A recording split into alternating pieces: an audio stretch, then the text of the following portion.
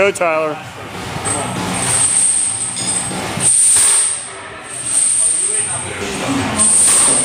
The good news is, CarMax will replace Come on, Schwab, go. in about 30 minutes, and we'll buy your car, even if you don't like it.